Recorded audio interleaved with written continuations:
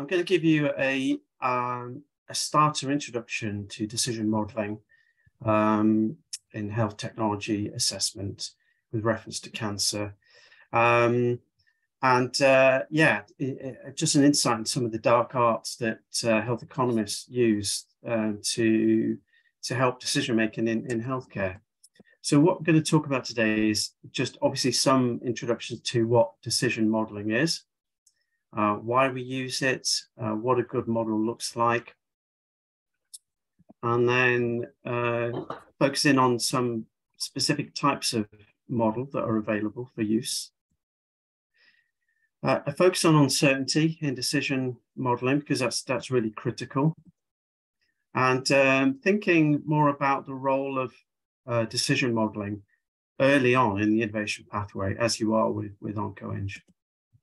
So, um, so decision decision modeling. Start off, I, apologize. It's a pretty dry uh, definitions here, but uh, a decision analytic model uses mathematical relationships to define a series of possible consequences that would flow from a set of alternative options being evaluated. So, what we're essentially trying to do when we're building a decision model is to create a simplified version of the patient pathway, which is going to capture the major um, events as they pass through the care pathway in terms of the costs and health events to them, things that are going to influence uh, their level of risk, the quality of life, survival. Okay, so we're trying to create this representation and we do it in a bit of software. Quite often it, it's Excel. Uh, you know, I'm afraid, afraid to say that Excel is probably the most common used bit of software used, but but um, nowadays we're moving more into R, and there are specific pieces of software that you can use for modeling like SIMUL8. Um, so we create this um, uh, simulated pathway for all of the technologies that we want to compare. And for those technologies, we estimate the expected costs and outcomes, which is essentially the sum of the costs and outcomes of each consequence weighted by the probability of that consequence. So essentially, we're using this uh, representation to try and make decisions in the face of uncertainty. Okay, and we're we're applying costs and outcomes, which might be QALYs, uh, and we're multiplying those by the chance that these things are going to happen. So we're creating expected values, and we're using those at the end of the modeling process to get an idea of what the total costs and benefits are of all the technologies we're comparing to help us make a decision. Now you'll be familiar with this, this quote from George Box, all models are wrong, but some are useful. The decision models we create uh, are certainly going to be wrong to some degree, um, but the point is that they help us make decisions.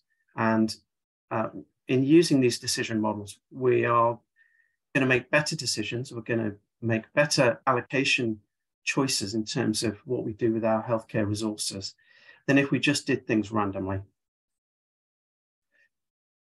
So when we're creating these representations of, of, the, of the care pathway, we, we, acknowledge that reality is tough to represent. In cancer, as I said in the last talk, there are so many different um, healthcare technologies that, that can be used, so many, so many complications, health events that can happen to patients along the way.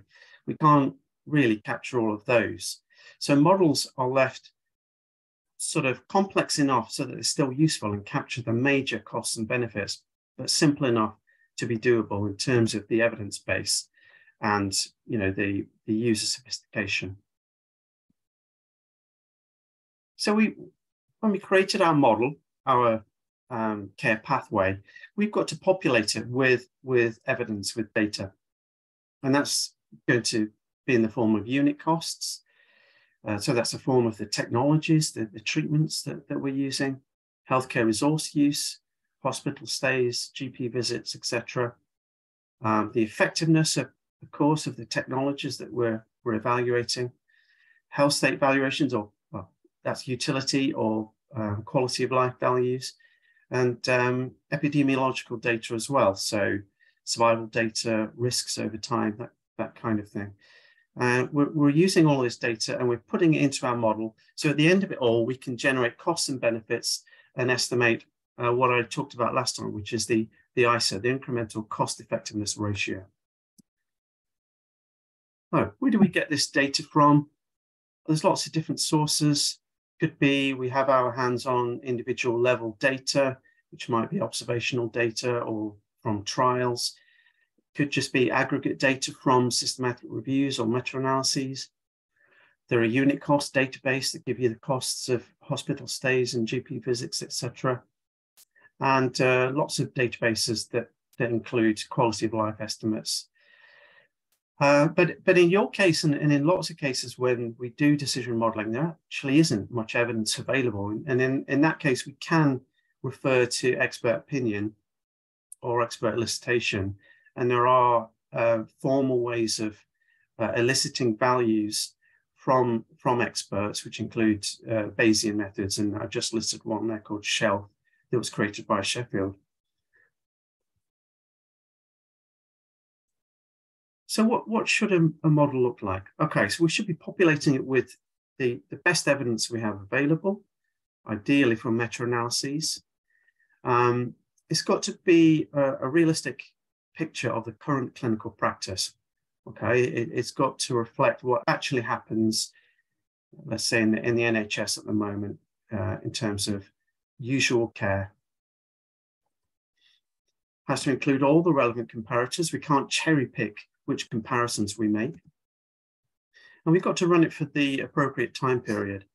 Um, a decision model should be run for long enough in terms of the time horizon to make sure that we're capturing all the relevant costs and benefits to patients.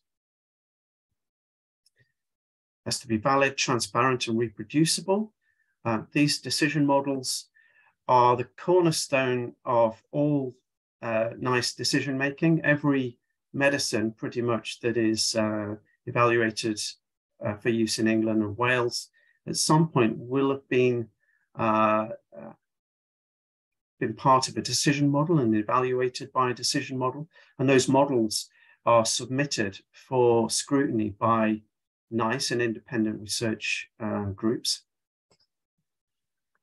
And these models have to have to uh, explore uncertainty and characterize it. Okay, there's lots of papers out there which cover good practice in terms of modeling and what we should be doing in, in uh, validating our models. Okay, we haven't really talked about what, why, why do we actually do this? I talked last time about the fact that the um, all healthcare systems are constrained. We have budget constraints. We have to make choices in the face of, of those constraints, okay? And um, economic evaluation is a tool to help us do that.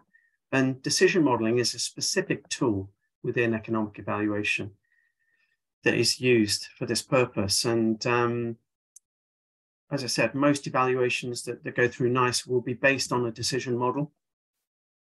Um, it allows us to pull together lots of evidence from different places, whether it's observational data, different trials, and we can put it all together in one place in a decision model to estimate cost effectiveness. We can use these models to extrapolate costs and benefits beyond the data that we have available. Uh, we can explore the thresholds and scenario values which might be relevant to us if we want to understand, for example, um, what's the most that we can charge for a medicine and still be cost effective um, helps us to characterize the degree and source, and source of uncertainty. By the use of sensitivity analysis, we can see what is driving cost effectiveness and what the key uh, factors are in, in the value of our particular technology. And it can help us to really isolate where we should be focusing our efforts in terms of future research to reduce that uncertainty. And when we're doing modeling in, early on in the innovation pathway, actually gives us insight to the viability of a new technology. Is this actually going to be plausibly cost effective? Uh, and we can do that when we've got very little uh, cost and effectiveness data. And just, just to illustrate one of those factors here, why we use models, in this case, to extrapolate costs and benefits. In this scenario, it's a hypothetical one comparing surgery and radiotherapy. Uh, we've got utility or quality of life on the vertical axis and uh, survival or time on the horizontal axis. If we run a clinical trial comparing surgery and radiotherapy, we can see that over a period of 24 months, actually, those patients receiving radiotherapy have higher quality, they've got better quality of life than those in the surgery group. If we stop our trial there and conduct our economic evaluation, um, we're essentially ignoring all the flow of costs and benefits beyond that point. And that's where modeling can play a part to help us extrapolate um, those costs and benefits beyond the period for which we have data. If we didn't use a model beyond 24 months, we would effectively be ignoring all this area under the curve, which is quality benefit um, for radiotherapy. And we'd be making potentially um, uh, the wrong decision, or certainly underestimating um, the value of, of radiotherapy. So that's just, just to start with, to talk about um, what a model is, what a model should look like, uh, why we do it. And I'm going to focus now on some of the types of modeling um, that are available. There, there are lots of types of models. Spoiler alert, there, there are loads out there. Um, and some range from very simple to, to, to, very complex models. Most common types of model are what we call cohort or aggregate level models, where we model hypothetical groups of patients flowing through this care pathway that we've created, um, accruing costs and benefits as they go through. Um, they're more simple because there's no interactions there. These are not infectious disease models. Uh, and these include decision trees, Markov models, or combinations of these, and um, something called partition survival models. Other types of models are available. Um, and as I said, they get increasingly complex. So discrete event simulation, for example, is a type of modeling which allows you to look at um, constrained optimization problems. So if you have a hospital ward, given the number of patients flowing into your hospital uh, and the, uh, the amount of queuing you want to allow, how many nurses, beds, and um, doctors do you need to, to ensure that you're treating people within a, a given time. So that's what more complex models can give you. But when we're choosing a model type and thinking about the model structure, we've got to ask ourselves questions such as, well, is interaction important? Is it an infectious disease? Well, then no. Um, is the disease um, subject to recursive events? So, so are there relapses possible? Um, if so, that means you've got to pick a particular type of model are you interested in the history of the patient in terms of you know previous comorbidities, whether they smoke or not? So all these factors would influence what, what type of model you choose and the level of complexity you need. So just focusing on simple decision trees to start with, um, we have essentially a flow diagram um, showing a logical structure of the problem. We have a decision to make about um, how uh, we treat a patient, what technologies we might apply. Um, there are certain events that can happen with uncertainty, and these lead, um, lead to outcomes. Okay, um, and these, these flow diagrams, if you like, represent the possible prognosis following an intervention um, by a series of, of pathways. And it outlines the decisions, the probability of various outcomes occurring, and evaluation of each outcome as, as we move through this pathway. Decision trees are most useful when health events don't repeat, they happen quickly or not at all, um, and when the effects of treatment are over quite quickly. So they're not, in truth, actually used that much in cancer. Um, the most commonly used areas in diagnostics. Here's a, a simple example here. Uh, in decision trees, time flows from left to right, and you can see these uh, branches emanating from the blue square. And um, we have a blue square, a green circle, and a, a red triangle here. And these are nodes. The, the blue square is a decision node, so that's where we choose whether to give treatment A, treatment B. And the circle is a chance node. So this uh, will have related to it probabilities, which are associated either with risk or the effectiveness of different treatments. Um, and then we have the triangles, which are what we call terminal nodes. And that at the end of this process, that's where we calculate the uh, flow of costs and benefits um, throughout those branches. So if we were going to look at the uh, one of the uh, decision problems that OncoEng are dealing with, so patients with metastatic bone disease and spinal pain, um, if we have to make a decision about how that, that patient is treated or which, which interventions we should fund as a healthcare service, we might consider three alternatives here. This is a very simplified uh, example. So a minimally invasive implant, which is, would be our new technology, surgery, or cement, uh, which are two versions of standard care. If we're going to try and model that for each of these options, we need to know what events might occur, the probability of each event, the consequences of those events, and the outcomes. So um, for example, and the costs associated with the technologies themselves, but all of the health events. So if we start with our um, decision node, we have three possible technologies that, that we can use and that we're using this model to evaluate. And we might say, well, okay, one, one event that might happen is that there's a probability of fracture. Okay, and uh, after receiving one of these three treatments, patients might um, experience a fracture or no fracture. And obviously, if they have a fracture, um, they can have worse quality of life, worse survival, higher healthcare costs. Okay. And then we might say, well, okay, if they have a fracture, there's a, a probability of spinal cord injury. And if that happens, of course, there's an increased risk to um, uh, uh, of mortality, worse quality of life, and, and higher costs. So, in a very simple way, we can think about how we might model this decision problem. And then what we would have to do is assign costs, outcomes, and probabilities to our decision tree.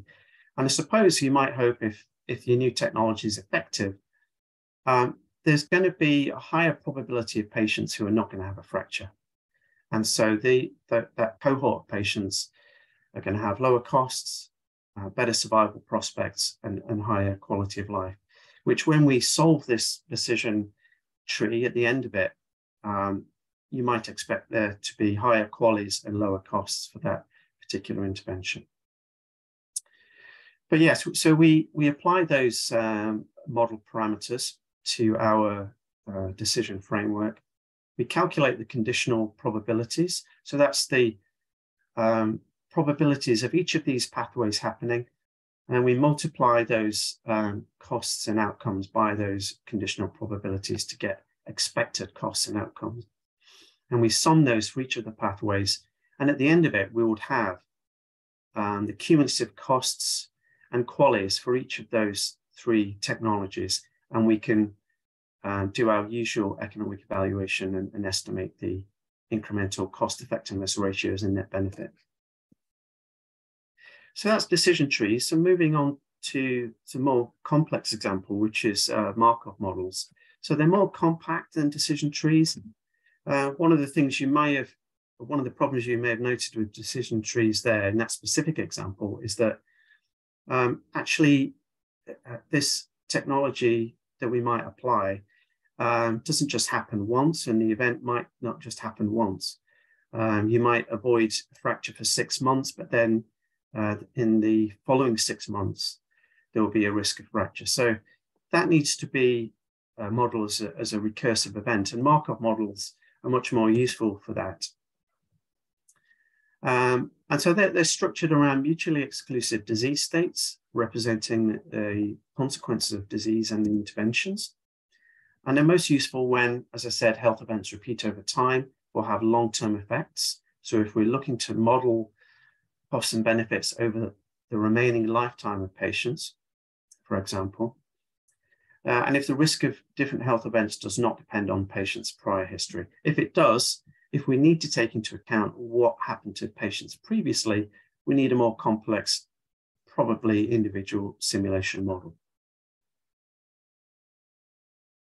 So in a Markov model, we use uh, Markov health states. So health is split into distinct categories, and these are mutually exclusive. So uh, people in your hypothetical cohort can't be in more than one health state. These are complete, so individuals must be in one of them. And patients are in one state at a time for a fixed period, which is called a cycle, which might be a week, uh, a month, or a year.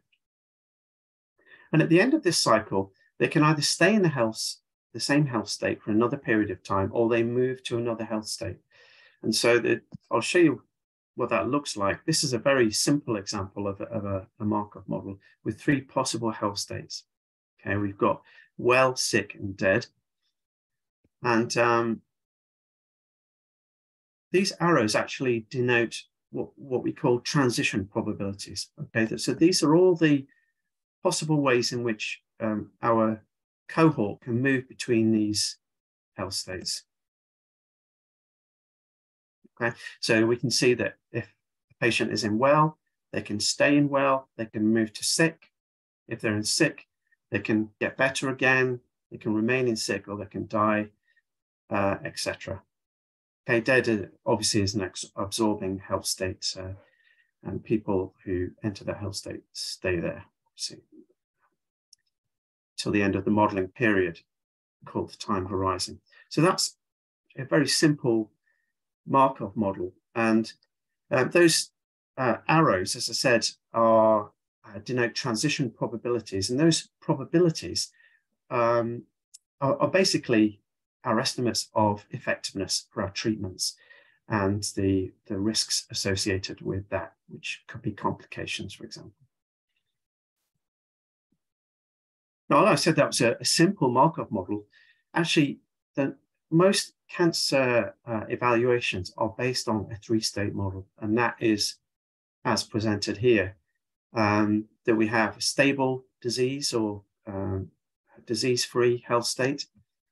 We have uh, disease progression and then dead. So this is by far and away the most common representation of, of cancer in health economics. Uh, there are uh, obviously more complex versions of this. If you think that there are uh, important health states that need to be captured, and they're important because um, they have distinct quality of life or survival impacts and distinct costs associated with them. So in this more complex example, um, we have um, more health states, and this is uh, from breast cancer. So we've got disease-free, uh, no adverse events. We've got contralateral um, and, and, various uh, degrees of um, metastatic disease and recurrence. So models can be as complex as, as you like, really, but um, they just need to be complex enough to make sure that you are capturing the major events um, that are relevant to the decision problem. Of course, when you're making models more complex, there is a danger you get to a point where actually you don't have the data to populate the health states. So for example, if I had a health state here which said, um, okay, breast cancer with, with distant recurrence uh, after the third line of treatment, which might be fine, but would I actually have a quality of life estimate for that group of patients? Would I have survival estimates for that group of patients? So this is ju just to illustrate what happens here. Again, we in a Markov model, we start off our hypothetical cohort of patients across our um, health states, and we apply um, a Markov matrix, which is a group of probabilities, and uh, that effectively means a patient's transit between the health states after one cycle. And we continue to apply those um, that transition matrix, matrix or matrices for the lifetime of the model until we get to the end. And, and in cancer modeling, it's usually what we expect to be, um, it's either 100 years, uh, the average age of the patient, or when we expect most of our cohort to have um, uh, to have died. And then at the end, we sum up the cumulative costs and um, QALYs over the cycles for each technology.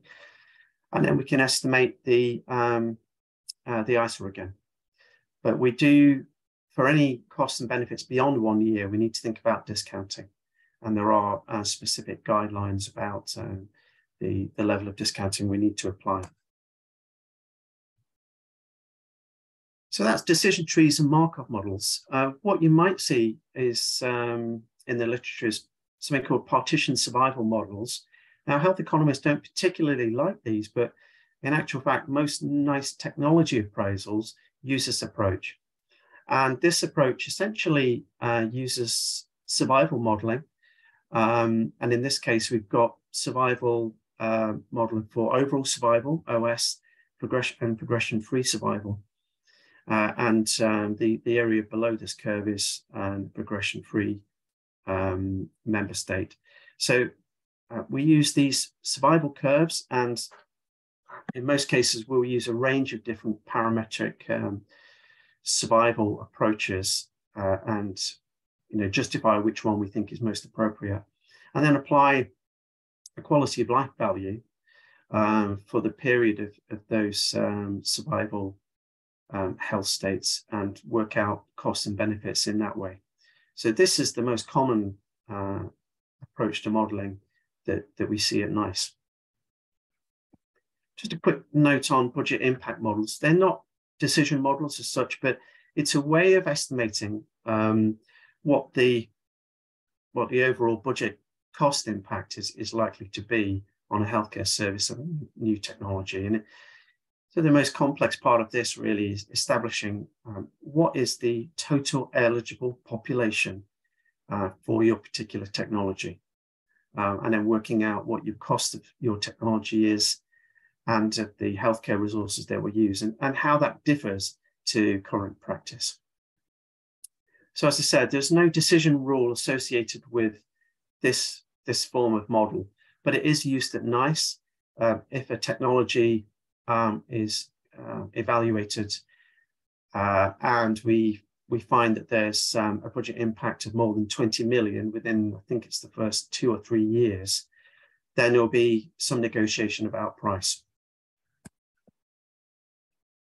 So, okay, that's just a very quick introduction to different types of modeling. Uh, as I said at the top, uh, uncertainty is, is critical in, in um, decision modeling what you'll probably know is that if analysts are creating models, actually we, we've got quite a bit of freedom to be very strategic and to game the, the framework to, to get out answers that we, we want and to cherry pick data and to put that into our, into our model.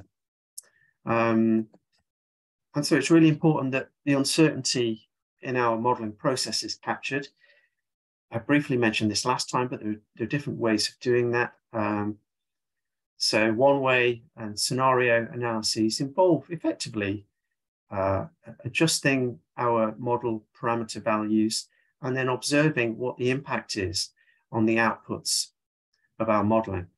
So if we, for example, change the price of our technology in our model, um, how sensitive are the cost effectiveness estimates to that? And uh, oh, there are various other forms of sensitivity analysis listed here, threshold analyses. So how, for example, how effective does our technology need to be um, given a particular cost for it still to be cost effective? Um, the, the bottom one also I mentioned last time, and it's probabilistic sensitivity analyses, and I'll talk more about that in a moment. But this is the approach where we, we don't uh, use a point estimate anymore in our model to define parameter values, but we specify a distribution. And the shape of that distribution describes the level of uncertainty around the data going into our model. And uh, we use Monte Carlo simulation to, to run our model, let's say 10,000 times.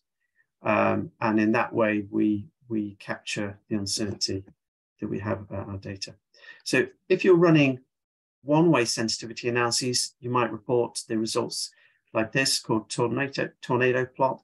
And effectively, um, it shows the impact on the, the ICER, uh, given changes in various parameters that are listed on the on the left hand side there. And we can see that um, the, the top the top parameter there, quality of good function after our procedure, is the most influential parameter. But coming back to probabilistic sensitivity analyses, um, we know that events happen with a, a certain degree of uncertainty, um, and we can characterize this in the form of probability distributions and density functions. And when we do modeling, we, uh, we will input these distributions into our models. So if we consider a, a model here with these different parameters, relief, recurrence, probability of having to go to A&E, being hospitalized, etc. And each of these being described by not just one mean value anymore, but a distribution uh, representing that value. We can run simulations to choose a value from that distribution and for each time our model to estimate cost effectiveness. So we do that, as I said, maybe 10,000 times so that we're inputting distributions into our model and we get an output of distribution, okay? And of course, what these distributions tell us is how uncertain we are about the data. The, the more pointed the distribution, if you like, the more certain we are about that particular parameter, okay? And these ones that are more spread out means we're effectively more uncertain about it. So the more uncertain these distributions, the more uncertain we will be about cost effectiveness. And that's really important for decision making. Because as I said last time, we're never really in a position to say 100% that something is cost effective and we should be funding it on the NHS. Uh, one thing that we can do with these all these uh, simulations is, is uh, create what I mentioned uh, last time, something called the cost effectiveness acceptability curve, which plots the probability that our technologies are cost effective across a range of willingness to pay thresholds. And we can see here we've got three, uh, I think these are lung cancer um, medicines, alectinib, ceritinib, and crizotinib. And we'll see that, you know, depending on what we're willing to pay for a QALY, uh, at different points, each one has a, the highest probability of being the cost effective option.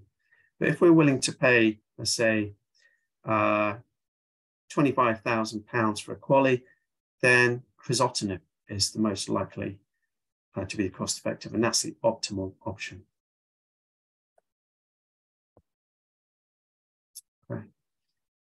So that's um, just a note on, on certainty. And um, I've got a few slides here about the role of early modeling uh, in, in innovation.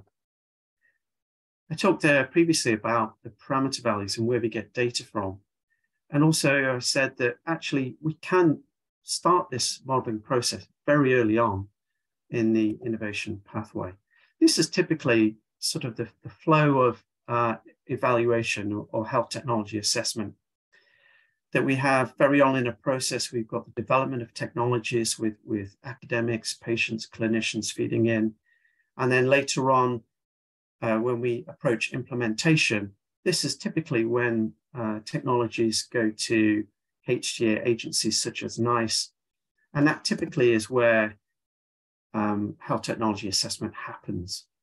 So decision modeling, uh, cost effectiveness alongside clinical trials tends to happen later on. But there is a push for this process to happen earlier on in the process. Uh, and it does have value in, in this particular part of the innovation pathway. Um, so I don't know if you're familiar with this term, te technology readiness levels, but it's something that we're coming across more and more in terms of the, the surgical medtech cooperative. And what we're realizing is that actually economic evaluations and decision modeling can be applied in very early stages of uh, technology readiness. So why, why would we do it? Okay, in the absence of any trial data, systematic reviews, you know, what actually is it going to tell us? Well, we, we can still use values um, related to plausible cost effectiveness. If going back to our um, example on the um, uh, whether we use cement surgery or uh, minimally invasive uh, implant to avoid fractures, we actually probably got very good data for two of those in standard care. So we, we probably know what the effectiveness is, what the risk rates, quality of life, the costs associated with, it, with those two. Um, but the values surrounding our new technology, obviously, we're going to be limited on that front. But we can rely on plausible estimates, thresholds, to get an idea of uh, whether this, uh, these technologies should be developed, whether they um, should be continued to be developed, to identify where there are gaps in the market. Uh, we can use this model to inform technology development. Uh, which aspects of our technology represent the greatest value? Uh, is it in pre preventing fracture? Is it in increasing quality of life, reducing pain? Uh, actually, when we run our model, are the cost effectiveness estimates not that favorable? And so therefore, do we really need to concentrate on um, thinking about you know, about, you know, saving costs? Also, we can use this process to inform research priorities. Okay, in our sensitivity analyses, what are the biggest drivers of value? Okay, where are the biggest areas of risk? And um, there's something called value of information that actually I think it came from engineering uh, many years ago, but has recently, the last sort of 15, 20 years, been applied in health. And it actually allows us to quantify, to put a cost on the level of uncertainty in a decision. We know that um, when we're making decisions in healthcare, uh, if we make a wrong call, then it's going to lead to suboptimal decisions, and that risks uh, reducing the overall health of the population that, that we're serving. So the consequences of those incorrect decisions mean less health, okay? That's the opportunity cost. As I've already said, in terms of the probabilistic sensitivity analyses, what that tells us is there's a probability that our new technology is cost effective. Well, then it also tells us it's a probability that it's not cost effective and that if we choose to go ahead and fund it, that we've made the wrong call. So we can actually use this information to, to generate and to estimate something called value information, which is essentially the probability of making the wrong call multiplied by the consequences. And the consequences depend on the size of the population, the patient population, and the health consequences. So obviously, if you've got a decision um, that's going to potentially affect many thousands of patients, then the consequences of getting that wrong are significant. And at that point, um, we know the value of further information is increased. And so we might say, actually, uh, it's too expensive in terms of the cost of uncertainty to make a funding decision right now. What we need to do is to go away and collect further evidence on particular areas, which could be the effectiveness of the, the technologies. What else can early modeling give us? Well, something called headroom analysis. Allows us to effectively work out the maximum price that is achievable, um, given all the other parameters that we estimate in our model. What's the maximum price we can, we can charge and still be cost effective? But it can also inform something called the target product, product profile, which is uh, being used more and more in, in diagnostics and medtech, which is essentially um, a, list of desired and expected properties of new technologies. And so tell us what is the minimum characteristics that, that we want to see from, from our technology, for example, in terms of effectiveness, in, in the example uh, that we had, uh, what's the reduction in the probability of a fracture um, from our minimally invasive implant? Um, what's the minimum we need to achieve to be cost effective given a particular price or cost of the technology. And we can do things like uh, a two by two sensitivity analyses by plotting the price of new technology and effectiveness and explore lots of different combinations of those and, and, and plot the range at which our new technology is still cost effective. Okay, so I'm approaching the end now. So just summarize very quickly that Um, decision modeling is, is widely used in health economics. As I said, it's, it's used in every NICE evaluation. Um, it is just a tool for decision making, but it is a very influential one. Um, it has lots of uh, different um, uh, values to the decision making process, helps us combine data, extrapolate, uh, can help us plug the gaps in data we have, and it helps us put a, a, value and a cost on the level of uncertainty to point, pinpoint what is driving the, the value in our um, technology. There's lots of different models out there, and um, how complex you want to get uh, and which type of model you use depends on the decision problem. Um, and early modeling uh, can be very useful early on in, in the innovation pathway and, and you know, could be applicable in, in, your, in your program in establishing the value case uh, to inform research priorities, what to focus on, where to save money, uh, whether, whether to uh, continue investment in it. Um, you're going to be able to use cost effectiveness estimates to uh, potentially convince funders to, to uh, invest in future research, for example. And it could also inform uh, tar target product profiles and, and, pricing. So I've put a bunch of reading there. There's a couple of books at the top, which are very good for, you know, if you if I piqued interest and really interested in taking this further, and some papers below that, which are introductory modeling papers uh, and um, best practice in terms of modeling. Okay, and I'll stop there. Um, then we've got some time for questions. So I'll stop sharing if that's okay, Rebecca. Absolutely. Thank you so much, David. That was fascinating and um, really um, important for the work that we want to do through OncoEng, but I think also um, brings a bit of a different perspective to much of the work that probably many of us are involved in across the board. So thank you ever so much. Um, okay. So we've got some time for questions.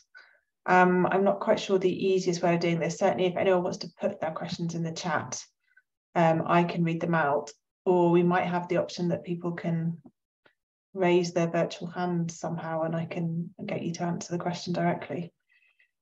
Um, okay, thank you. We've got one up from Oliver. Oliver, do you want to try just unmuting and see if it works if you then ask your own question? Or maybe I'm pushing the bounds of pushing the bounds of reality, but mm.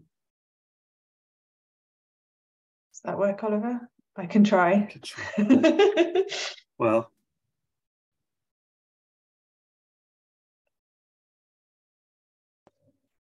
Hi, can you hear me? Yeah, got you, Oliver. Thanks.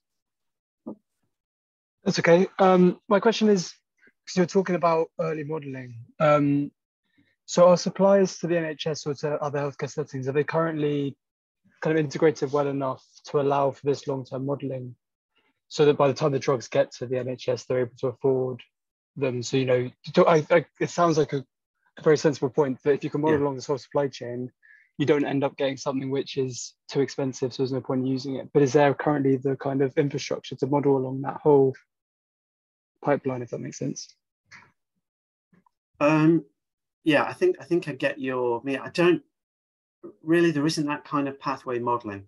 The, the modeling that happens at, at, at present is uh, a, a discrete, usually a discrete part of the pathway, uh, comparing the all the relevant technologies. So if we if we think about cancer medicines, for example, uh, and value cases submitted to NICE, it will be the new technology versus all the relevant comparators just for a specific defined period. And uh, a decision is made on that basis. So, uh, and there are a couple of elements there. If, if something is just too expensive, um, then there will be negotiations about price. Um, sometimes there are other uh, factors at, at, play. So, for example, when the new hepatitis treatments came out a few years ago, I can't quite remember the name, but essentially um, they were offering a cure for hepatitis uh, and they were highly cost effective. But if they were offered on the NHS, it would have bankrupted the NHS. And there was no capacity in the system to get those treatments out to, to patients. So what essentially they did was, was said, we'll do 10,000 at a time. We'll treat the first 10,000 patients. And then as, you know, as, as we go along, we'll treat more patients. Um, so, but but when those treatments, those decisions are, are made at NICE based on the modeling, those those drugs have to be available within three months by law. Okay, but that that's medicines and it's different for the technologies that, that you're looking at. Um, and so I don't think early modeling would be sufficient to inform uh, commissioning. But what it does inform is you know, you convince funders to give you more money, money to, to pursue this because it's potentially of value, investors. Um, and so, uh, you know, the next stage probably after early modeling would be obviously collecting data in patients that gives you a signal of efficacy, whether it's observational data, probably most likely. And then from that point, you might be in a position to go to commissioners or, or NICE with a stronger evidence case. I hope, uh, I, Oliver, has that answered some, at least some of your question? Yeah, no, thank you. Yeah. Okay, thanks. I actually had a, a, kind of kind of related question, David. So it was yeah. it, it, it, popped up in my in my head in one of your earlier graphs where you had um, your chart of um, quality of life versus surgery and radiotherapy outcomes. Yeah. And um, you commented obviously that if you stopped a clinical trial at a particular time point, you didn't have the forward looking information about what happened after that point. And of course, I guess as patients are hopefully living longer and longer, that becomes more and more relevant. And, and you commented that one of the values of the models is that you can forward extrapolate what might happen for an individual patient in time. Yeah. Um, so my question was, of course, I understand you can you can forward extrapolate, but um, how do you know that you're extrapolating correctly? Because it's very hard to have data to validate those long-term predictions, given that I guess they're for the patients who live the longest and they might not have got there yet. Yeah, um, you don't. Basically, I mean, we know, for example, in, in cancer, um, gosh, it really is sort of um, when it comes down to it, quite often best guess. So we yeah. might we we might know what the um, the expected survival uh, probabilities are. Let's say at five years for lung cancer patients and ten years. So we, we tend to look at uh, externally validating what the predictions are for the model in terms of you know those survival predictions. Uh, so we can do that, and we ask we ask clinical experts, and, and clinical experts are usually at, at NICE meetings, giving their opinion about what is the most uh, plausible extrapolation. But actually, when it comes to new treatments, uh, where we, we really don't have a clue what the future, um, the longer term benefits might be. And, and, the most recent examples are in immunotherapies in cancer, where the, the mode of effect is such that uh, obviously sort of it trains your immune system to to keep fighting the cancer, even if you stop treatment. So there could be benefits way into the future. And, and so in those cases, we really didn't have a good idea um, what, what the most plausible estimates were. Um, and we, we, so obviously the company obviously go, go for very optimistic ones usually, which, which put their treatments in the, in the best light and then the external groups will go for a pessimistic version of that. And we have to make a, a, almost a qualitative judgment about what is most likely. There are, you know, there are ways of um, technical ways of dealing with that called um, model averaging, but mm-hmm. to be honest, that is very rarely used, and, and we we tend to come back to this sort of qualitative way of of looking at it. Thank Great you. question. That's really helpful. Do we have any other questions from, from the virtual yes. audience? I'd love to know, is anyone thinking about, you know, these kinds of things for, you know, in, in, in the program?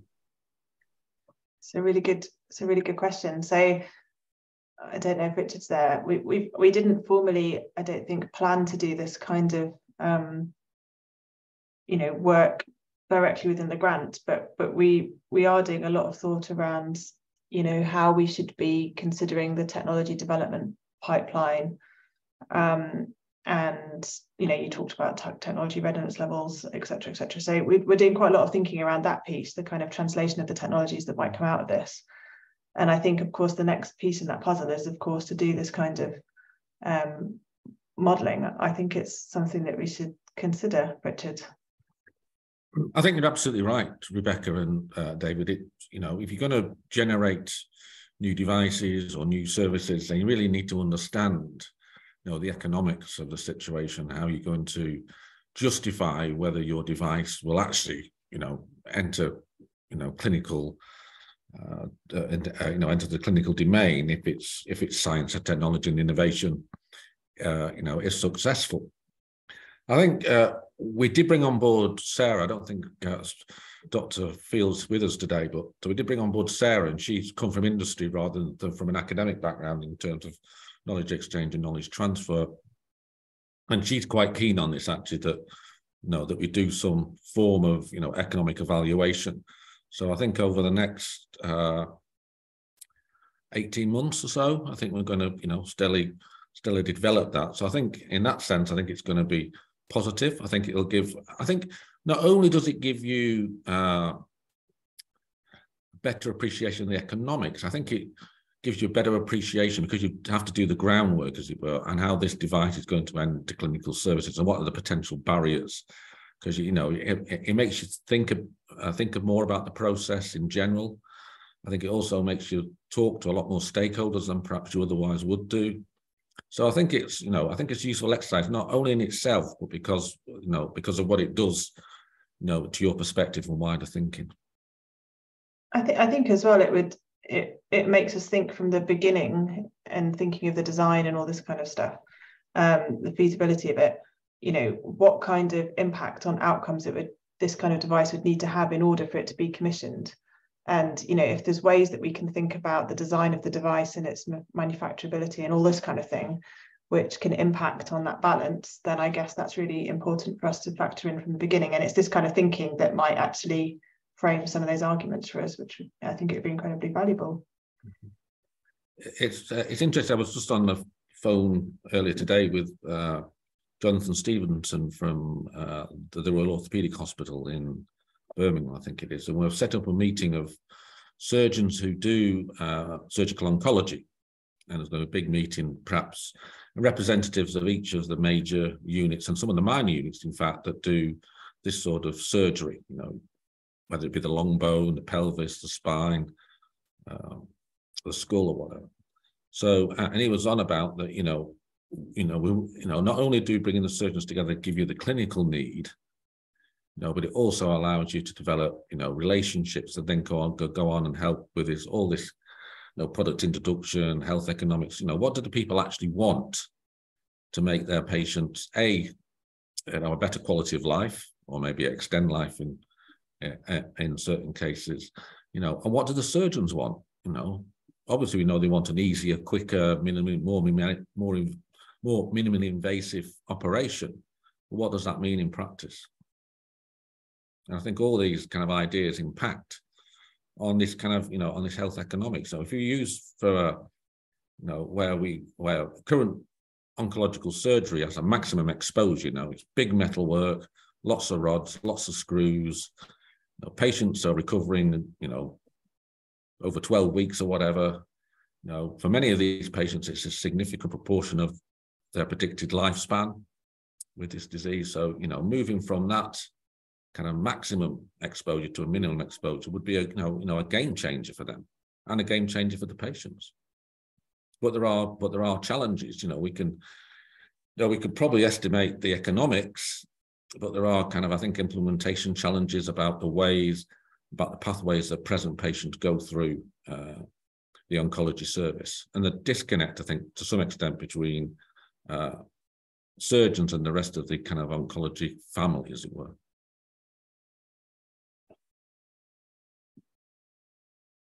Okay. Brilliant. I think like we'll be following up. Yeah. Yeah, that's great, and we're we're already talking, Richard, aren't we? So um, yeah. yeah. well, thanks again for for inviting me, and uh, it was really nice to to connect with you, and some great questions there. And um, yeah, I hope the the rest of the the, the day goes well. And uh, if you do have any questions, feel free to drop me an email. That's wonderful. Thank you so much, yeah. David. That was absolutely fascinating. Thank you for your time. Thanks.